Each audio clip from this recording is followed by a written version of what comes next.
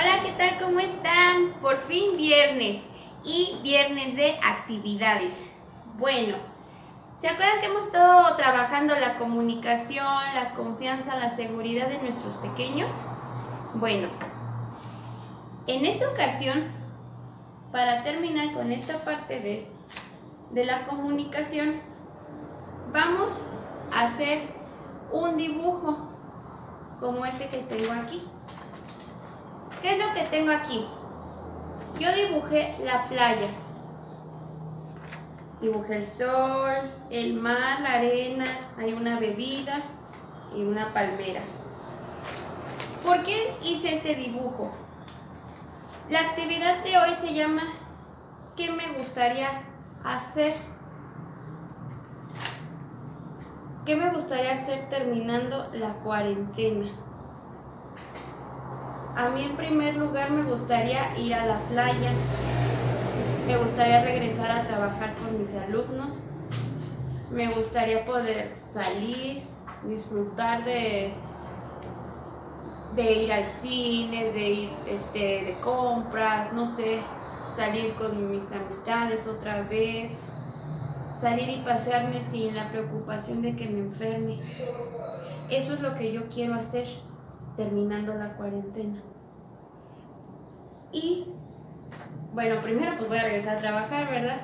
Pero cuando ya sean este, las vacaciones, ya sea de Navidad o Semana Santa, me gustaría ir a la playa.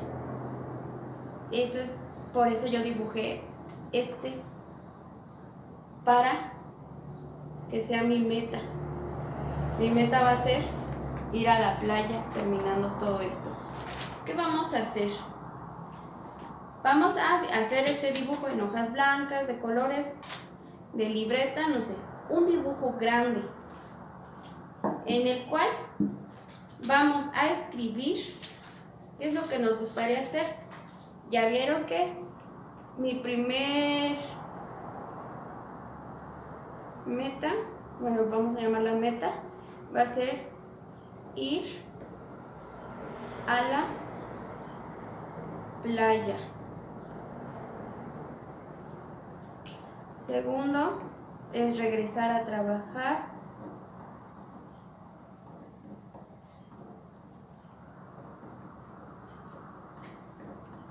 Tercero,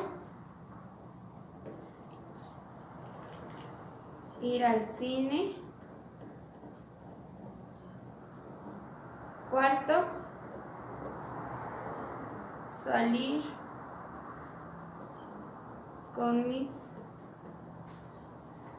amistades y más cosas que quiero hacer. Ustedes le van a pedir a sus pequeños que escriban primero el dibujo de qué es lo que más, más les gustaría hacer, a dónde quisieran ir. Van a dibujar unos que en la escuela, que ir al parque, otros que quieren ir al cine, lo van a dibujar. Y a un ladito o en medio, donde tengan este alcance de escribir, van a notar lo que más quieren hacer regresando otra vez a la normalidad. ¿Qué van a, los pueden apoyar a los niños? Ya habrá niños que ya solitos puedan poner, ir a la, al cine, jugar, ya solitos podrán irlo escribiendo o con apoyo de ustedes. También ustedes pueden hacer su, su dibujo su plan de lo que quieren hacer después que acabe todo esto de la cuarentena.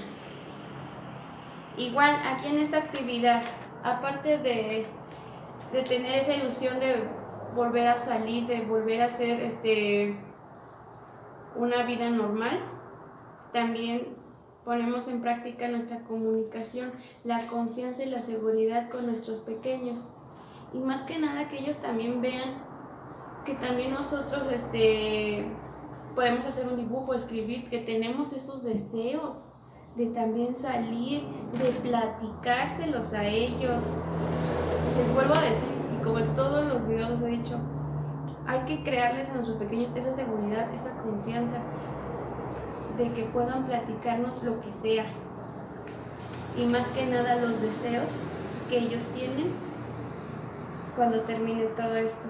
Porque aunque no nos digan, aunque ellos estén chiquitos y digan, a veces no entienden qué es lo que está pasando en realidad, saben que hay una enfermedad que se llama coronavirus, pero en realidad ellos así, nosotros pensamos, no, pues ella está chiquito, no, no entiende, sí entienden.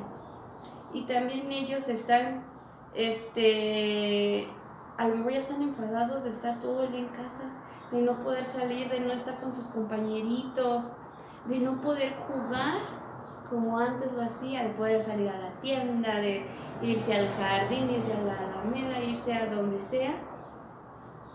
Y que ahorita ya no se puede hacer eso. Ellos también necesitan ser escuchados.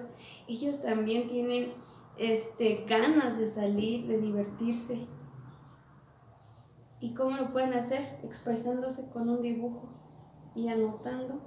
O aunque no lo escriban, por ejemplo, los más pequeños de 3 y 4 años, que hagan el dibujo de lo que quieren hacer y pegarlo en un lugar visible, donde lo estemos viendo todos los días.